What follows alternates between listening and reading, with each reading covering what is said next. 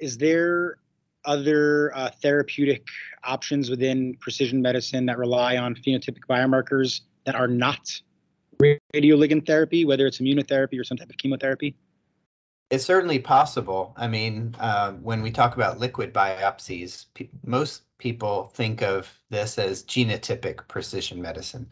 Um, but one of the most common phenotypic transformations that happens in lethal prostate cancer is called neuroendocrine prostate cancer, small cell transformation. That's only about 1% of men at diagnosis, but it's actually about 15 to 20% of all men who go on to, to, to die of prostate cancer.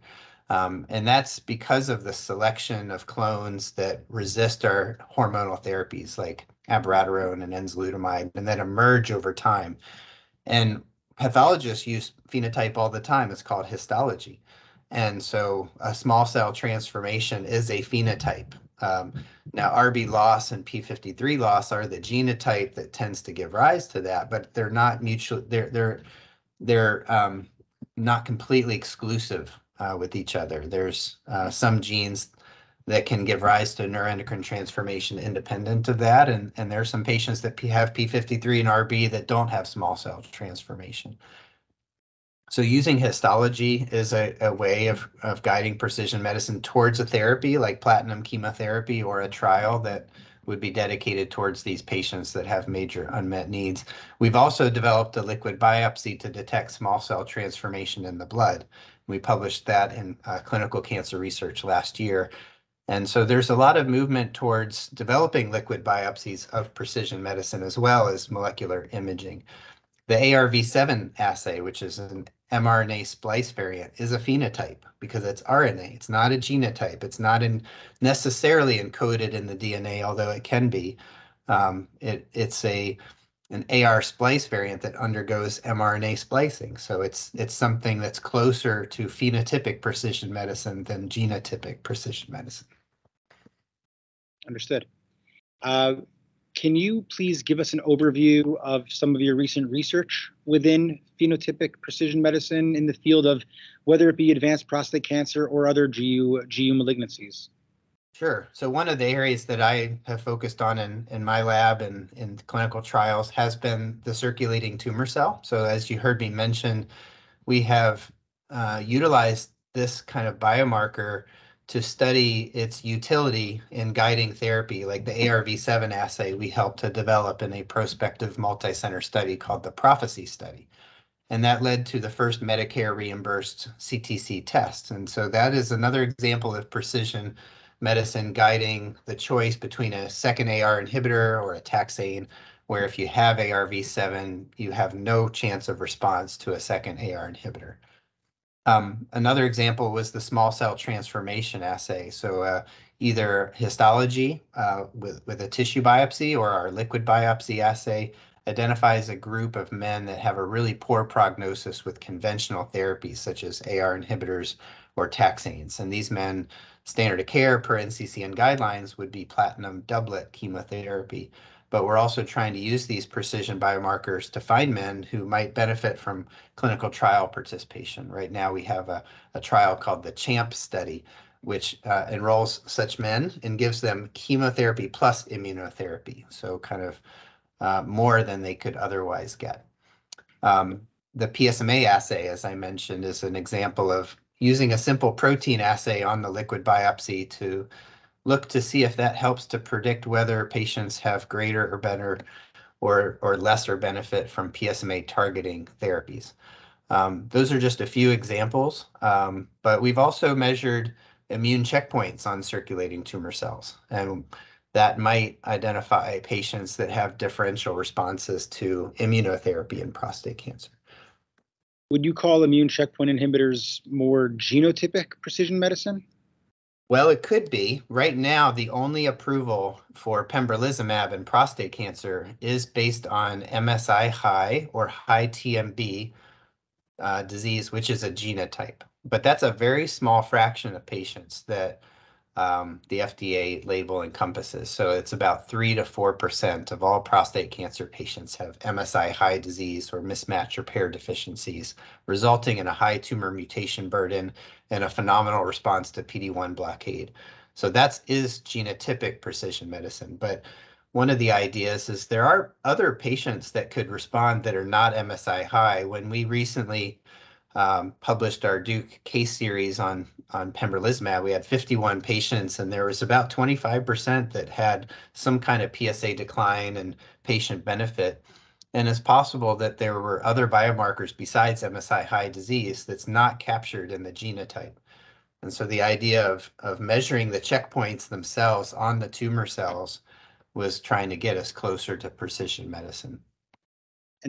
When considering genotypic precision medicine versus phenotypic pre- precision medicine, uh, is there a feeling that one is more advantageous than the other, or is it possible to even utilize both arenas to further improve cancer care? Yeah, that's a great question. I'm I'm in the camp that you need both. Um, not all genotype corresponds to phenotype, meaning some mutations are silent and they don't carry forward into the mRNA or the protein.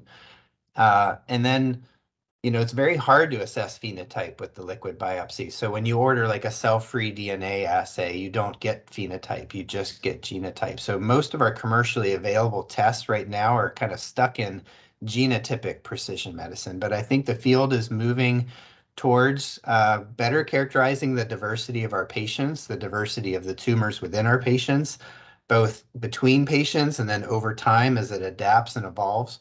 And you see this diversity at the mRNA level because of alternative splicing, because of um, heterogeneity. Uh, and then at the protein level, you see even greater diversity. You see some tumors, for example, have high AR amplification, but they lack AR protein. And so in that context, an AR inhibitor probably wouldn't work because the target's not there. So um, I think it's important to marry these two together. There's only a few uh, companies that are, you know, developing liquid biopsies that give you both the DNA level and RNA and protein. Um, but that's a, an emerging area of great opportunity, I would say. And is there any uh, ongoing research or uh, or a banging of the drum, perhaps, that's advocating for earlier implementation of precision medicine, whether it be genotypic or phenotypic, uh, in yes both local or advanced prostate cancer? Yeah, take the example of the PSMA PET scan. I mean, you don't have to wait till advanced castrate resistant disease to order that. You can do it right at diagnosis to better tailor radical prostatectomy or radiation or hormones plus radiation and tailor the field of your beam to encompass node positive disease that might otherwise be missed with conventional imaging for oligometastatic disease, you can visualize metastatic disease much better. And there's trials now targeting PSMA avid lesions with our best systemic therapy um, or in place of systemic therapy to defer systemic therapy. So there's kind of both approaches being tested. I'm, I, I tend to believe that when patients have metastatic disease, they're going to need systemic therapy but we might be able to stop it early if we can target all the known lesions with metastasis-directed radiotherapy. And precision medicine, phenotypic precision medicine could get us to higher cure rates in earlier disease settings. So just to uh, to rebound off that, I, I get the sense when I speak with uh, medical oncologists and urologic oncologists that the holy grail of prostate cancer treatment is uh, essentially prostate prostate sparing therapy for localized disease will there potentially do you see any role for precision medicine in in that pursuit? Well, certainly radiation is is prostate sparing, meaning not, no prostatectomy. But I think you're referring to focal therapy. Yes. Um, yes. So focal therapy, uh, it's possible that precision medicine could better localize with a prostate MRI and PSMA overlap. It's possible it could localize the more high risk lesions to spare the rest of the gland, and then the patient would remain on active surveillance for the rest of the gland. But I think those require prospective, careful studies uh, to make sure you're not missing the window of cure. Very well, I understand. And uh, I guess uh, the last question that I try to ask all my interview, uh, all my interviews, is just where do you see uh, the future of precision medicine going uh, for prostate cancer?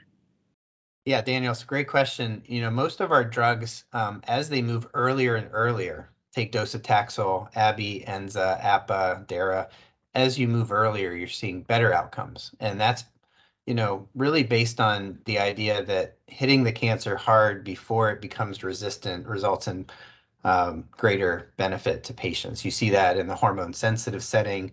You see that from the Stampede trial and non-metastatic disease, you know, synergizing with radiation. I think you'll see the field moving towards that and having a precision medicine biomarker, um, either like an artificial intelligence score on your pathology specimen, you know, as you'll as you've seen at Astro and at the GU Symposium this year from Artera.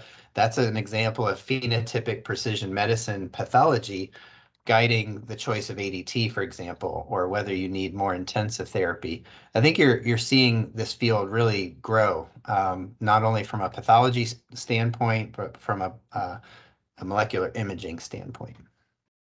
Very well, Dr. Armstrong. This has been educational, insightful, and enjoyable. I really appreciate your time. Thank you so much for uh, teaching us a little bit more about precision medicine. Thank you, Daniel. Nice talking to you.